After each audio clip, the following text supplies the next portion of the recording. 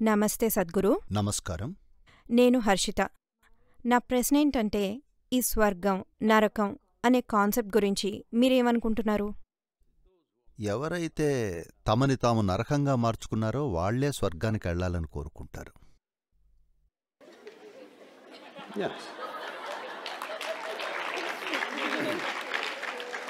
నేనిక్కడ కూర్చుని తాదాత్మ్యంతో ఉంటే పూర్తిగా I'm blissed out.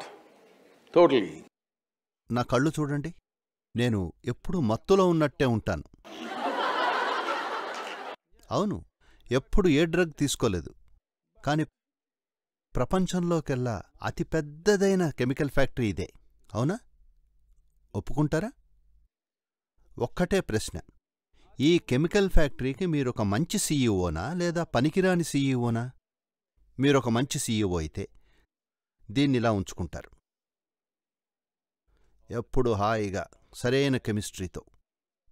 మీరొక చెడ్డ సీఈఓ అయితే మీరు చెడ్డ కెమిస్ట్రీని తయారు చేసి దానికి కారణం ఇదనో అదనో ఇంకోటనో అంటారు. కాబట్టి ఏదో ఓ కారణం వల్ల మనుషులు బాధగా ఫీల్ అవుతున్నారు.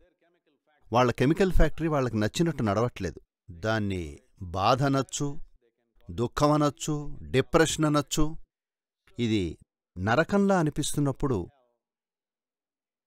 మనం అనుకుంటాం అక్కడెక్కడికో వెళ్తే అంతా బాగుంటుందని హర్షిత అంటే సంతోషం.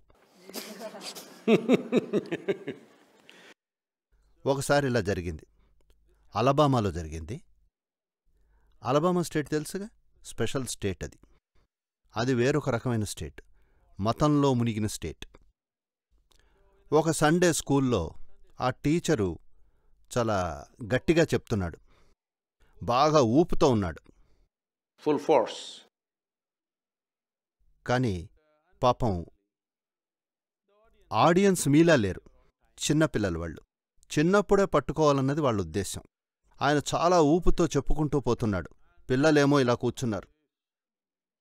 ఆయన చాలా నాటకీయంగా ఉన్నట్టుండి ఆగి పిల్లల్ని అడిగాడు. స్వర్గానికి వెళ్ళాలంటే ఏం చెయ్యాలి అని. ఫస్ట్ బెంచ్లో కూర్చున్న మేరీ లేచి నేను ప్రతి ఆదివారం చర్చి మెట్లు తుడిస్తే నేను స్వర్గానికెళ్తాను అంది.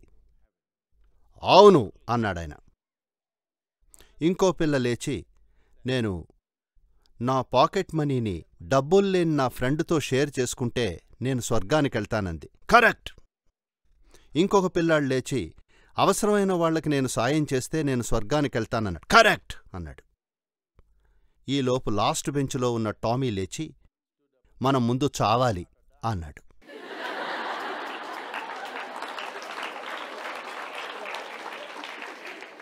అదే కదా క్వాలిఫికేషన్ స్వర్గానికి వెళ్ళాలంటే ముందు పోవాలి కదా.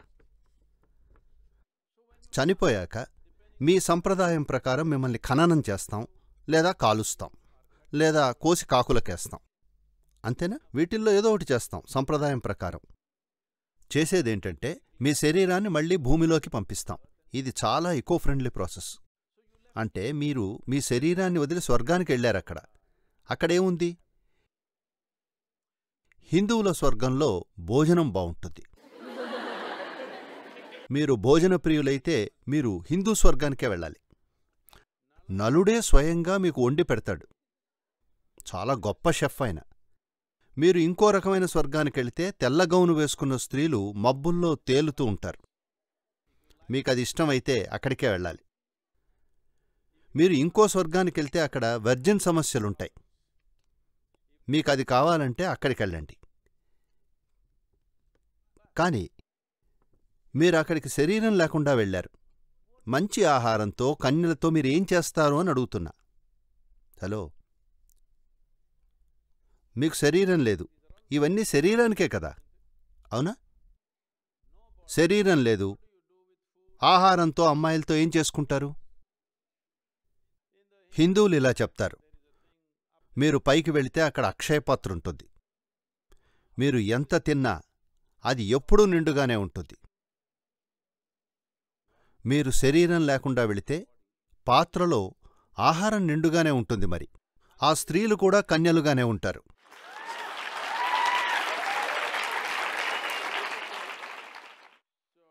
మనం ఇది చాలా కాలంగా చేస్తూనే ఉన్నాం.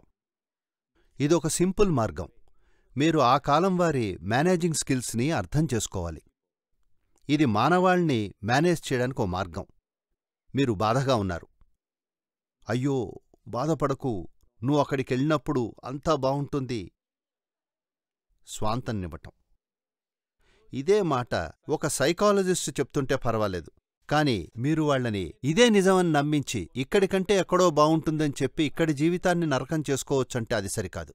ఎవరైనా చాలా కష్టంలో ఉన్నప్పుడు ఏం పర్లేదు నువ్వు దేవుడి ఒళ్ళో కూర్చుంటే అంతా సరిపోతుంది అంటే అదొక మానసిక మాయ. అది పర్లేదు.